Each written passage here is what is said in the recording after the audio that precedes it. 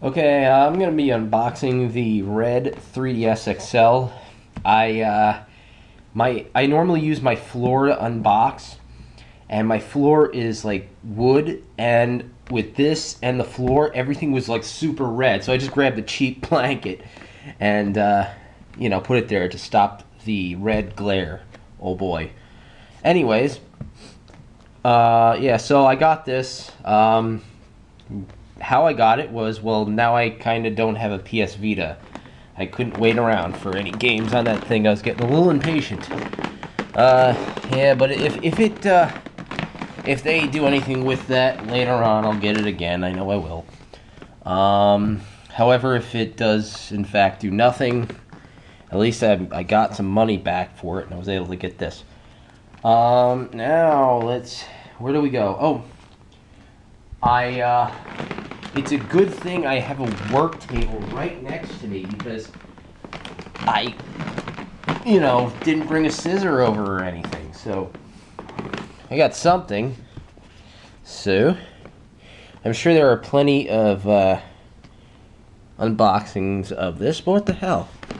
Why not do another one? So there's that. Alright. I want to do a half-ass backwards unboxing, too. To do a crappy... Yeah. Yeah, whatever I'm talking about. I'm not talking about anything. Ignore me. I'm stupid. Yeah.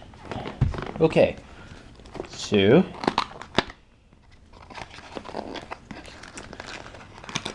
I'm going to pull out this stuff. Yay! Yeah, whatever. I don't care about any of this. You know what's in here. Come on. We know we the more important part is what's in here. And that is this. None of this crap matters. And here it is. The 3DS XL. It's the first time I'm actually looking at it in person. And I'll probably do a video letting you know what it's like. Wow. The uh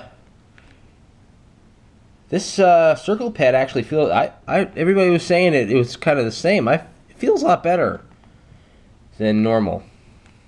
So yeah, that's kind of cool. Um. Hmm. Yeah. So uh, on the volume. Yep. Cameras. Oh, front-facing camera. Two 3D back camera thingies and the stylus where it should be in the first place. I don't know why they moved it. Again, a bigger stylus that isn't, you know, something you can extend, but whatever. That's fine. I don't need, I always extend it anyway, so I don't know what the hell I'm talking about. Uh, triggers are okay. I don't know if they're any better or worse. Um, they might be a little worse because it feels like the the back where the hinges are get kind of get in the way. Yeah, it, I think I like the old triggers better, but as far as the screen goes, looks good. And we got actual oh, there's that's nice. There's actual buttons. There's start, home, and select, and all that. It's not that weird thing they had before. D-pad buttons are basically, you know, X, Y, B, A buttons are the same, basically. Power power button, it's a little too flush with the system, but, you know, I think that's okay. That'll be fine. Uh, it's got two speakers over here, here, and I really can't wait to give this thing a shot because, yeah, um, I wish it did have the the dual analog sticks. There's definitely a spot where you could put one, but it doesn't. And uh, what else? Um,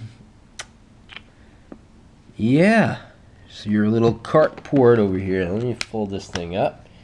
You get your cart port and the power, which looks like the same power. So yeah, it's the same power adapter, I guess. And I don't know. I think that's it, really. Um, there's the SD card port. Let me see if it comes. I think it comes with an SD card, right? It better. I'll rip someone's head off. Yeah, it comes with a four gig. The last one came with a, with a one gig. Well, that's nice. A Lexar four gig. So that's cool. Nice addition. Uh, I was happy with the one gig. So that's cool. I guess they got more stuff on there now, so more space. Plus, plus the uh, retail games being on there, it's it's actually makes more sense. And even though I do really actually like the way the that um, glossy red looks better than this, it I got to be honest, you know that that is a finger fingerprint magnet, and yeah. But I'll definitely got to give this a shot, and I'm gonna let you guys know what I think, as opposed to what everybody else that's made a video thinks. Hee hee.